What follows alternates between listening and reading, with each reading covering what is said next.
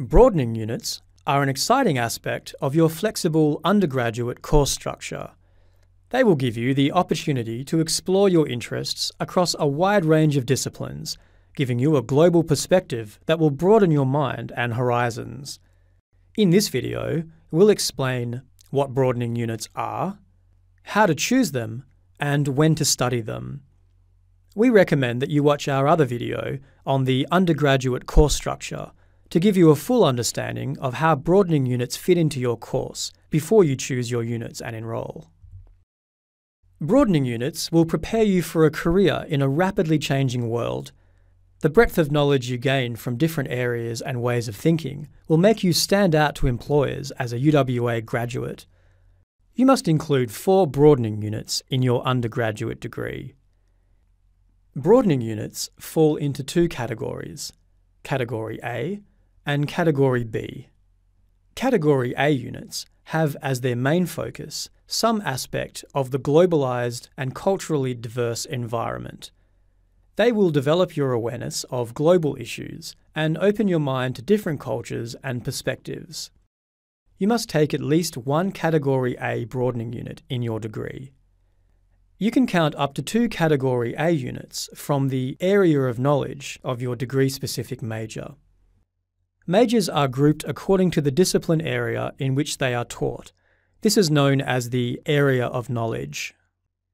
Category A units also include languages other than English units, Indigenous Studies units, approved mathematics and statistics units, and units taken on an approved study abroad or exchange program.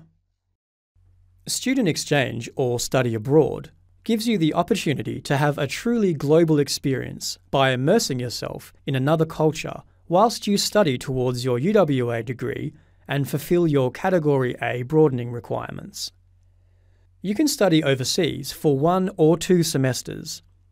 UWA has more than 180 partner universities in Asia, Europe, and North or South America You'll have access to internationally renowned institutions, internship opportunities, and much more.